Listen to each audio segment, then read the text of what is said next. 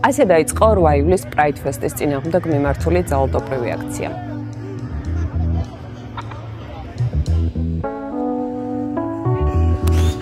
და ზუსტად 2 საათში ლისი ვანდერლენდის ტერიტორიაზე ხდებოდა ეს.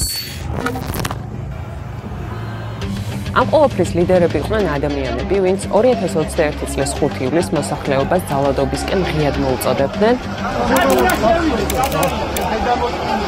და ამის გამო არასდროს დასჯილან. აი ამათი სახით ასვალზე თრევა 8 ივლისს ლისი ვანდერლენდის ტერიტორიაზე ქუერთემ სურდა პრაიდის კვირეული დახურული ღონისძიებით აღენიშნა. ამის შესახებ ცხადია, საქმის კურსში იყო ხელისუფლებაც და თვეების განმავლობაში შინაგან საქმეთა სამინისტროსთან მოლაპარაკებების ფონზე ორგანიზატორებს ჯეროდათ, რომ სახელმწიფო მათ დაიცავდა. ის რომ ჩვენ თავად არც მოგვითხოვია, თავად პროაქტიულად სანდრო გარახველიძემ თქვა, რომ იქნებოდა გამყენებული მძიმე ტექნიკა წყლის ჭავლები ასევე არასდროს არ გვისახელებდნენ ხოლმე პოლიციელების ოდენობას, რაც ეყოლებოდათ მობილიზებული, მაგრამ წელს დაასახელეს და თქვეს, რომ 5-6000 მინიმუმ ადამიანი იქნებოდა მობილიზებული და დამატების რესურსიც კი ექნებოდათ. მაგრამ ამის მაგივრად Pride Fest-ი ჩაიშალა. ფესტივალის ორგანიზატორები და მონაწილეები ტერიტორიის დარბევამდე სულ რამდენიმე წუთით ადრე პოლიციამ სამარშრუტო ტაქსებით გაიყვანა. და მოვიდნენ, ჩაკდა იძახეს ევაკუაცია. ასე ვერ მოვედი ჩავტანეს მარშრუტაში და ეხა არც ვიცი მობილიზებული იყო მაქსიმალური რაოდენობა პოლიციის რაც შეიძლება ყოფილიყო ამ ლოკაციაზე დაცვისთვის. შინაგან საქმეთა მინისტრის მოადგილის ამ განმარტებაში რამდენიმე რამეა ალოგიკური. მოდი დავიწყოთ კონტრაქციის მონაწილეების რაოდენობით. ესაა პლატფორმა, რომელიც ფოტოზე ადამიანების რაოდენობას ითვლის. ამ ფოტოს მიხედვით ვაჟაძეკთან თავდაპირველად დაახლოებით 2500 ადამიანი შეიკრიბა, მაგრამ მოდით კიდევ გავზარდოთ ეს რაოდენობა 500-ით და ვიგულისხმოთ მაქსიმალური, რომ ლისი ვანდერლენდის ტერიტორიაზე საბოლოოდ 3000 ადამიანი ავიდა. შინაგან საქმეთა სამინისტრო Pride Fest-ის მონაწილეებს შეპირდა, რომ კონტრაქციის მონაწილეებზე ორჯერ მეტ სამართალდამცველს გამოყოფდა. მათ შორის ადგილზე იყო სპეცრაზმი და ერთი დღით ადრე სამინისტრომ ეს დანაპირებიც კი გასცა. მაინც ვკითხეთ, რომ ეხა პირველ წელს აქ ჩაილის იმანდერლენდში ჩავატარეთ ფესტივალი, მეორე წელს მზეს მუზეუმზე. რომელი იყო თქვენთვის უფრო კარგად დასაცავი? ძალიან კაფეოდ გვახსოვს ყველას, რომ სანდრო დარახველიძემ თქვა, რომ ეს არის ბევრად უკეთესი დასაცავი ტერიტორია. მიუხედავად ამისა, კონტრაქციის მონაწილეებმა პოლიციის ორი კორდონი ფაქტობრივად წინააღმდეგობის გარეშე გაარღვიეს და ფესტივალის ტერიტორიაზე შეიჭრნენ. საპატრულო პოლიციის გარდა კორდონის შეკავებისას ადგილზე არ ყოფილა სპეცრაზმი და იქვე მდგარი წყლის ჭავლით ამ დღეს არავის გამოუყენებია. სულ არის ეს ძალა, რაც შეგიძლიათ რომ გამოიყენოთ ბატონო ალექსანდრე. მარტის აქციებზე რომ უფრო მეტი გამოიყენეთ. ამ ვიდეოში ნათლად ჩანს, როგორ მიაცილებს პოლიცია კონტრაქციის ერთ-ერთ ლიდერ ზურა მახარაძეს ფესტივალის ტერიტორიაზე. ორივე შემთხვევაში გამიჩნდა ესეთი შავეწლება, რომ რაღაცა შექმნეს ისეთი წარმოქმნა, რომ გაუწიეს წინააღმდეგობა თითქოს თავიდან, მაგრამ რაღაც მომენტში აი ერთ წამში რაღაც მომენტში ნებდებოდნენ და უშვებდნენ. ეს მარიამ ნიკურაძია, ოსიმედის დირექტორი და ჟურნალისტი. 8 ივლისს მარიამა კონტრაქციის მონაწილეებთან გაიარა გზალისამდე და ერთ-ერთი თვითმხილველი ამ ძალადობრივი დღის. კარგი, დაუშვეთ, რომ შინაგან საქმეთა სამინისტროს გაუჭირდა მასზე ორჯერ ნაკლები შეუიარაღებელი ადამიანის შეკავება. მინისტრის მოადგილემ გააჟღერა ესაც.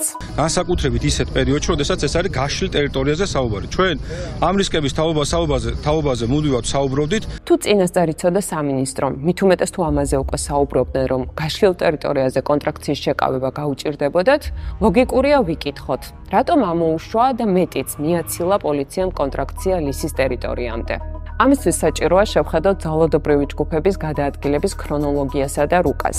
კონტრაქციის მონაწილეები ვაჟაზოგთან დაახლოებით 11 საათიდან იკრიბებიან და ერთ საათში ფეხით ლისისკენ იწყებენ მსვლელობას. ესა მარიჯანის ქუჩა, პირველი ვიწრო ქუჩა, სადაც პოლიციას ძალიან მარტივად შეეძლო მათი შეკავება. მაგრამ ამის ნაცვლად სამართალდამცველები ძალადობრივ ჯგუფებს ორიგად უბრალოდ მიაცილებენ.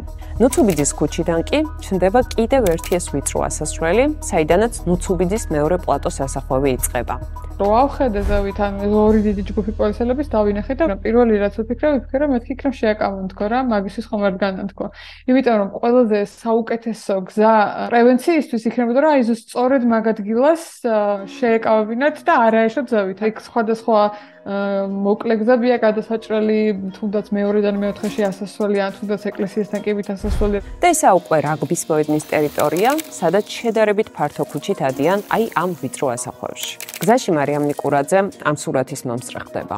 პატარა სუფრა ქონდათ გაშლილი ადგილობრივ მოსახლეობას და სვამდნენ. და პოლიცია რომ მიუახლოვდა უკვე ამ სუფრას, სუფრის მონაწილეებმა მიიპატიჟეს. პოლიცია რომ მოუთხეს რომ არაო ჯერო აქსალია ამ ამ ადამიანმა მოუთხეს რომ მაშინო აიო არ შევარო არ ჩაატარებინოთო და მე რომ მოვზანდითო და ამის პასუხად პოლიციელებმა ფესტივალის ორგანიზატორებს შეაგინეს. და მაშინ მენიშნა რომ არ იმდენ გამოხატულად და ის თავისუფლად გამოხატეს ეს ნეგატიური დამოკიდებულება ფესტივალის ორგანიზატორების მიმართ, რომ უკვე ყველაფერს შეეჭვშემება. ანუ პოლიციას მინიმუმ სამ ქუჩაზე ქონდა შანსი, რომ ძალადობრივი ჯგუფები შეეკავებინა და უკან გაეტრიალებინა. ან მინიმუმ დაეშალა ისე, რომ ლისის ტერიტორიამდე დაქსაქსულები ასულიყვნენ, რა შემთხვევაშიც პოლიციის კორდონის ასე მარტივად გარღვევა გაუჭirdებოდათ. დაცვის მაგივრად პოლიციამ ძალადობრივ ჯგუფებს საშუალება მისცა თავისუფლად შესულიყვნენ ფესტივალის ტერიტორიაზე. და ამით საფრთხე შეეკვდათ ადამიანის ჯანმრთელობისთვის და სიცოცხლისთვის,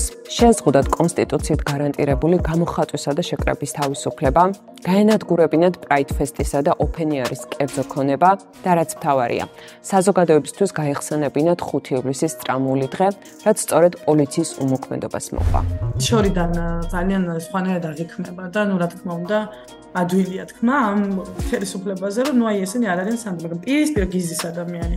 ბავშვებს იფიცება თვალებში გიყურებს trust me ანა აი ესე გეუბნება ეს გიორგიოსაც მაგალითად ადამიანის უფლებათა დაცვის დეპარტამენტის უფროსი და სანდრო დარახველიძეც აი რა სლაპარაკობთ ახლა ამ სიტუაციას როგორ გავაკეთებთ მაგრამ აი რაღაცნაირად არ ვიცი რა მე მგონია რომ ჩვენს კარგ ადამიანობაზე უფრო მეტყველებს და მათ სისაძაგლეზე და გაიძვერობაზე